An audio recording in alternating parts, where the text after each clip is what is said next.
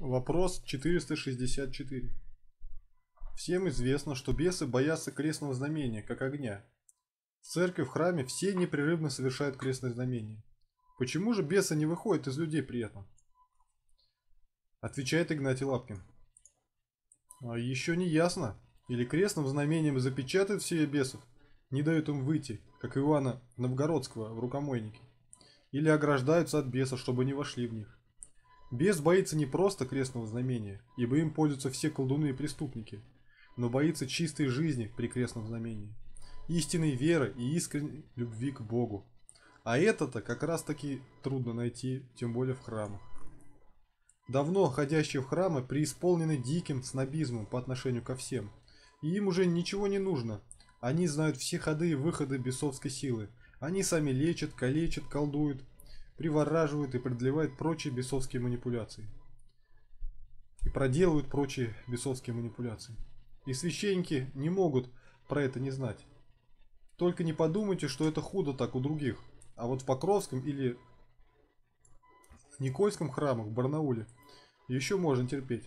Тут-то положение еще аховее и еще печальное, ибо столько лет натравливая народ против истины, а это прекрасная питательная среда для всех чертей и демонов, кикиморов и леших, и домовых, и тысячи тысяч суеверий и мракобесия, самого настоящего и неизлечимого. Тут центр сосредоточения бездна духовной грязи и суесловия.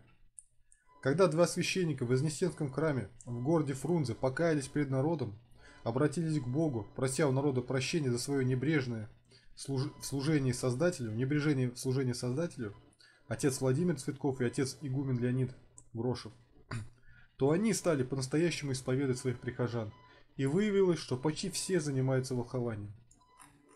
Священники стали принимать на исповедь только в том случае, если их подопечные обещали и выполняли свое обещание принести все свои лечебные инструкции. И наносили им, и высота этих книг их рукописи была, может быть, более метра от пола. Деяние 19 глава с 18 по 20 стих. Многие же из уверших приходили исповедуя открывать дела свои а из занимавшихся чародейством довольно многие, собрав книги свои, сожгли перед всеми, и сложили цены их, и оказалось их на 50 тысяч драхм. С такой силой возрастало и возмогало слово Господне. И сожгли это и прекратили вообще причащать, а только молились и кропили водой святой. И только на последней, кажется, неделе по-новому стали исповедовать и с полным покаянием в этих бесовских лечениях, и исповедовавшихся, и покаявших стали принимать и допускать до причастия. И это еще не все. У этой истории есть и продолжение, но об этом в другом месте.